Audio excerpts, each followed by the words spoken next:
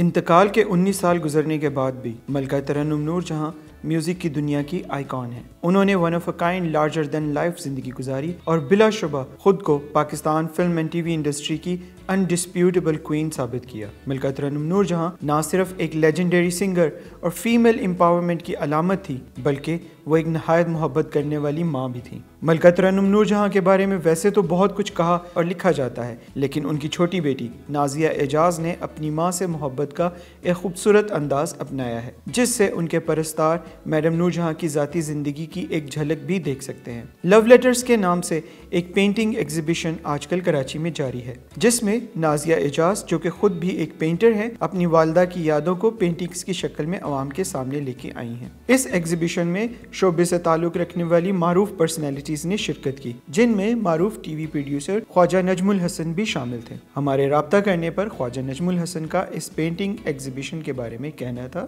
میں نے اس طرح کا کسی بیٹی کو نہیں دیکھا، کرتے ہوئے اپنی والدہ کے ساتھ جو انہوں نے پینٹ کر کے کیا ہے، اور اس کا نام ہے لو لیٹرز جو انہیں خط لکھا کرتی تھی۔ اپنی والدہ ان کو، نازیہ کو جب وہ باہر سلیٹ اسکول میں پڑھی تھی، تو وہ خطوط کو انہوں نے، چھوٹی چھوٹی باتیں انہوں نے لکھی ہوتی تھی، جن کو انہوں نے پینٹ کے ذریعے اس کو ایگزیبٹ کیا ہے which is very very nice Khawaja Najam ul-Hassan کے ساتھ خصوصی طور پر عثمان پیرزادہ بھی اس نمائش کو دیکھنے کے لیے لاہور سے کراچی پہنچے۔ عثمان پیرزادہ جو کہ خود بھی ایک آرٹسٹ ہیں اور ان کا میڈم نور جہاں سے ایک گہرا تعلق بھی رہا ای پی کے میں ہم نے عثمان پیرزادہ سے بھی رابطہ کیا اور ان سے جانا کہ ان کو یہ ایگزیبیشن کیسی لگی۔ It's a very interesting uh, kind of a collage that she has made of Madam's photographs and um, shown her love through the paintings for her mother. I thought it was a very interesting uh, expression